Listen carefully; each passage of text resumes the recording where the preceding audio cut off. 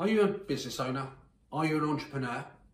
Do you gauge the success of your business purely in monetary terms? How much money is in your bank account, how much profit you're making, and how much money it generates for you and your investors?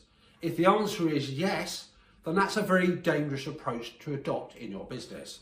It's doomed for failure, it's a very narrow perspective, and it's a very old fashioned way to conduct how you run your business. In this video, I'm going to outline why you should take a more balanced approach, what a balanced approach actually means, and the key elements that go into having a more balanced performance system. Hi folks, welcome to I Hate Numbers, the channel that's there to improve your financial awareness, improve the battle that goes on between your ears, and help you and your business make more profit, save tax, and save time. My name is Mahmood. I'm an accountant, educator, and mentor, and proud author of the book I Hate Numbers.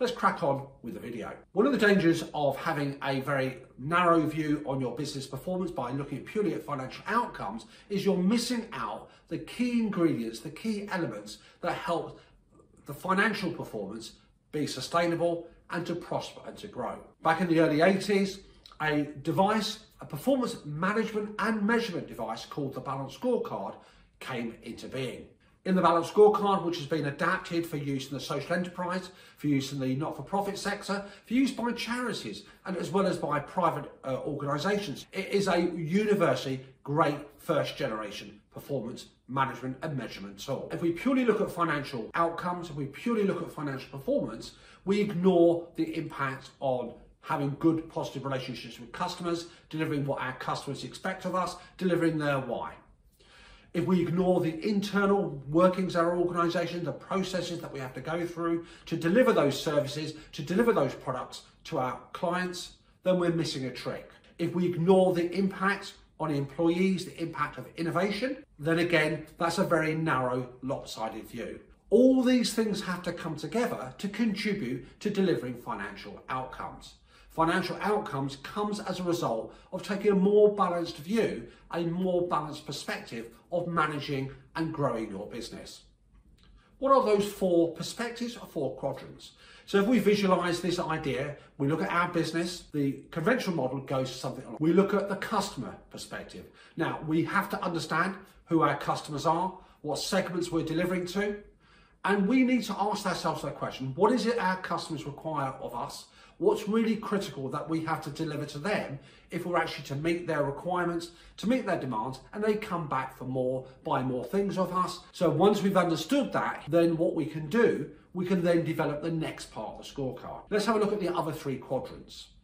The other quadrant is called uh, innovation and learning, and that is where we look at our employees and the innovation that we have in our products and services. It's really important to have not only good, competent staff here, but we need to consider our staff team as a real primary asset in our, our organisation. We need to look after them, we need to retain good quality staff, we need to develop them, we need to have them on board because without that capacity, we can't do anything. Think of the consequences if staff left you, what would you be able to do then? It's important for companies and businesses to innovate, to bring new things to our customers, to our marketplace. If we don't, and we rely exactly on what we're doing now, eventually time will catch up with us and we're going to find it very difficult to sustain. The other two quadrants are looking in terms of processes. Now, products just don't deliver by themselves.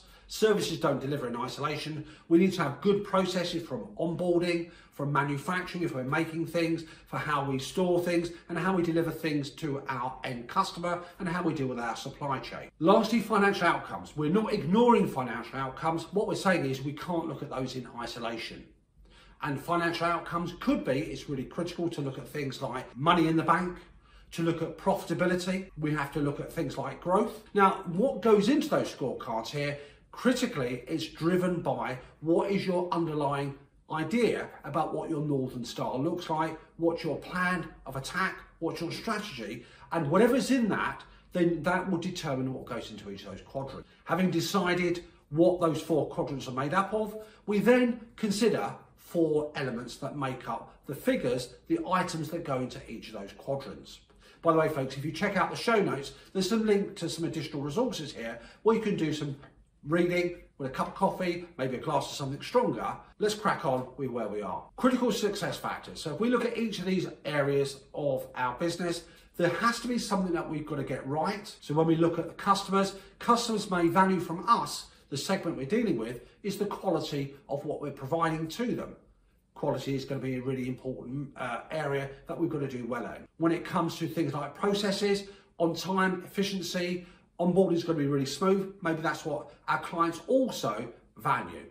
All these quadrants, by the way, are interlinked. You can't look at them in isolation. Having identified what is critical, what our critical success factors are, then what we need to do next is to decide what the measures should be that we should adopt. And it's key here with a balanced scorecard is that we should aim for no more than maybe two, maybe three at top level of a measure or a KPI in each of those. If we have too many, our attention is going to be diluted and it's going to be very difficult to focus on what is critical. A measure of quality, and quality is a very difficult thing to measure anyhow, we're going to measure things like aspects of quality. So we measure, measure that in terms of the level of returns we get back from our clients. We may measure that in terms of complaints. We may measure that in terms of retention. We manage to retain customers and we manage to sell more to them, then that could indicate we're offering a quality experience, a quality product, we are delivering quality.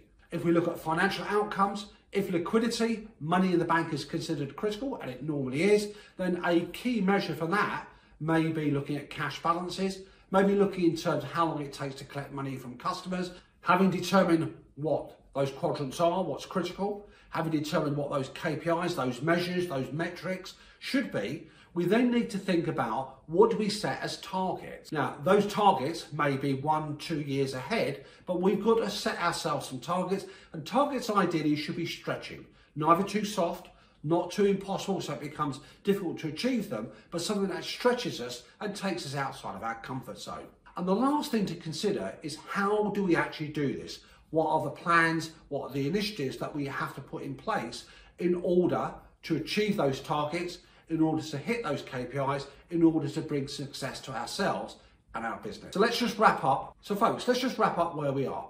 So, when you look at measuring, managing, and improving performance in your business, take a more balanced approach.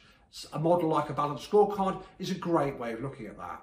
What it says is you have particularly four goggles, four perspectives that you look at your business in, typically customers, processes, innovation and learning, and the financial perspective. Think about what's critical, what's the critical success factors, i.e., what is it you've got to do really well at in order to maintain and prosper and grow? What should be the measures? What should be the KPIs within each of those quadrants? And lastly, how are you going to achieve them? Folks, I hope you found this video useful. If you have, I'd love it if you give some give it some love, give it some feedback. Remember to subscribe and share it with those who you feel will get some benefit from. Until we meet again next week, folks, have a look at your own business and take that balanced view what's important for you.